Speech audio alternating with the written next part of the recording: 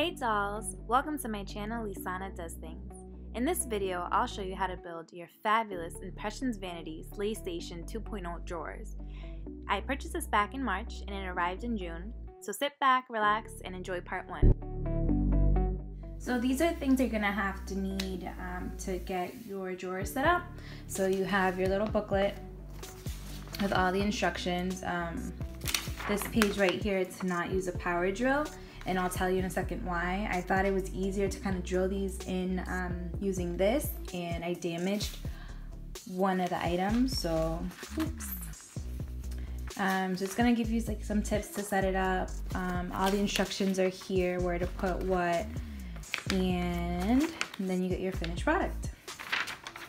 You're also gonna need a screwdriver. Um, so something like this will do the job and get it done. And I think these are called flatheads, but I could be totally wrong. Um, yeah, just something with a flathead and a hammer. Super easy. So once you unbox everything, you wanna get everything organized and put everything together on the floor with the similar numbers. I have these long boards over here these are um, the front part of the drawer. And you can find the numbers kind of on the side. See, this one is a sticker. So you'll see the number 11 right here. Um, other ones have the numbers printed with like a stamp or something. You'll see it right here. That's number 13. So you just want to set them all up together in groups and make sure that everything's where it should be. And then um, you should be good. On these cardboard boxes, I don't know what they're called, the numbers are gonna be imprinted on the back. So this is five, that's 10, 15. And then you have, um, these are the base of your drawers. Then you have all the hardware that you're gonna need. It's right here and it's super overwhelming because you have all these little pieces. Um, you just have this box right here that doesn't really, it's not really labeled. So I don't know what I'm gonna do with that. Um, it's just kind of like mixed hardware. So, and it does, the bag itself is not labeled. So I guess I'll have to really take a look at the instructions and make sure that I have everything that I need. These are the knobs. You have um, more hardware here and glue. Um, I don't know what I'll need the glue for, but we will see. So this is everything that came in the box. Um, there's a ton of styrofoam so you can kind of see it all over the floor um, just so packaging wouldn't get damaged. The one thing that I'm not showing you right now because it's in the other room is the glass that will go on top of the table and here it is it's super long this is the six the 59 inch length i think and it's gorgeous. Thankfully everything um, came in in pretty good condition. Nothing is damaged. So let's get started. So you're gonna look at the instructions. The first one says take board number three and there's a little sticker right on the top that says number three. And you're gonna take four of these little screwdriver things, four of these screwdriver little things with your screwdriver, and let's get started. So you want to grab your screws and drill them into the pre-drilled holes closer to the middle.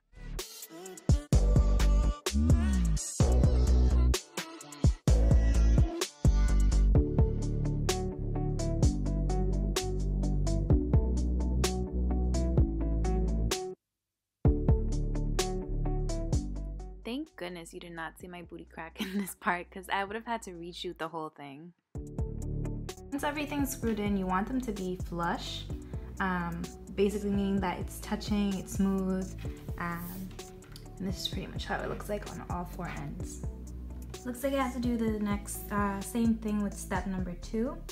So I need to grab the same screws that I had and grab drawers six and six.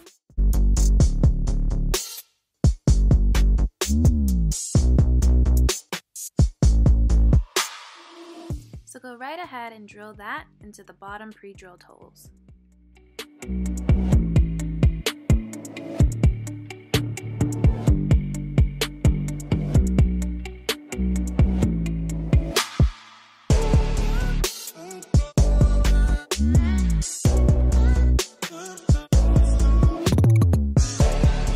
for step number three, I need four of those same screws and I need to put them into um, that plyboard number 11. So I'm gonna go look for that now. But as you can see, there's a lot of styrofoam inside. So I'm gonna go ahead and get that little flat screwdriver um, and then see what we can do to clean it up.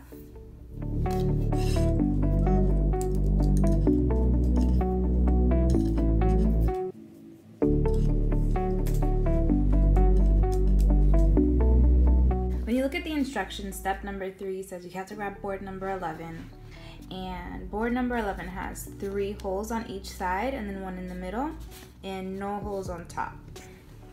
So when I grab number 11, there's only two holes on the side, one hole on the top where that shouldn't be. So I'm worried that I have the wrong one or it's been mislabeled. So let me go ahead and check again to see if I can find this board number 11.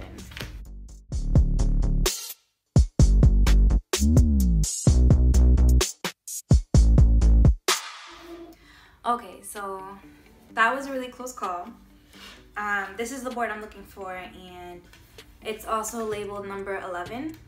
So I'm gonna put these away and use these. But that is super confusing.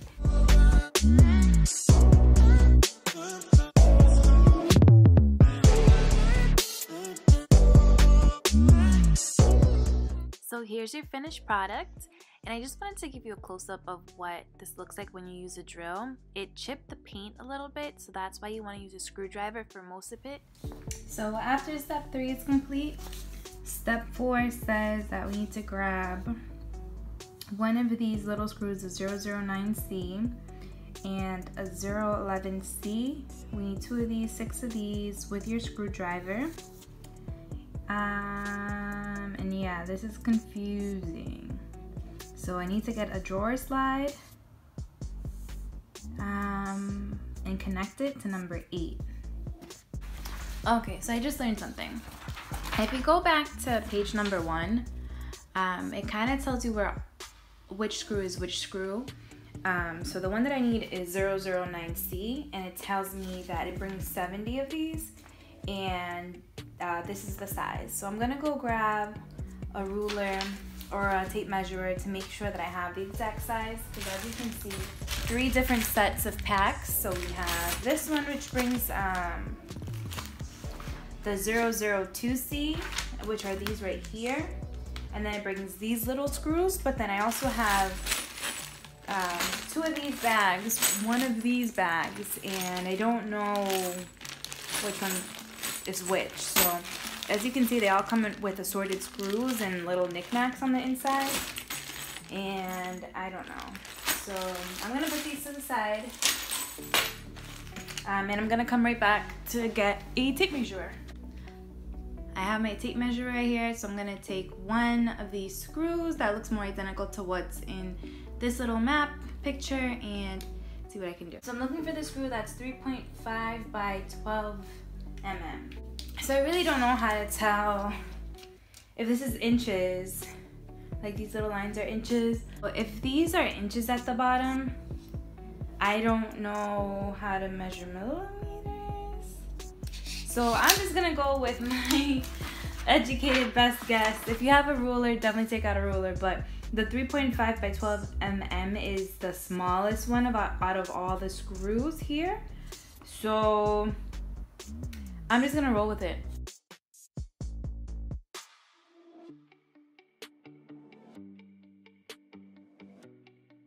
So this is the way you want it to be facing because you want this little tip to come out. Um, but it really doesn't match the picture, so that's why I'm super confused. I mean, they're when they get these, they all come in this packaging and they all look the same. there's no, there's nothing that says otherwise that they're different. I'm really confused. Whatever, I'm just gonna take my chance. It's just, cause the picture, it looks like it's open. Or maybe I'm supposed to pull it. I don't know. Alright, I guess if I screw this up, I screw this up. Okay, I think I see something here, but I don't know how that or what so stressed out. Because it looks like it's just this piece that comes out. Do I have to pop it out?